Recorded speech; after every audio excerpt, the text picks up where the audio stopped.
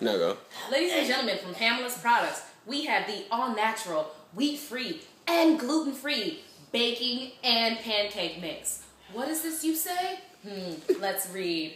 It makes waffles, scones, muffins, loaf cakes, cookies, biscuits, coffee cake, and more. Fast, easy, and delicious. What can I make you say? Let's see.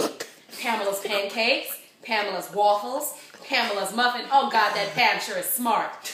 Pamela's scones, Pamela's banana loaf cake, Pamela's breading mixture, pancake mix that you just add seasonings and herbs to, and you can use it to coat fish and chicken. This that bullshit. Pamela is lying to you. This is a fucking bag of flour.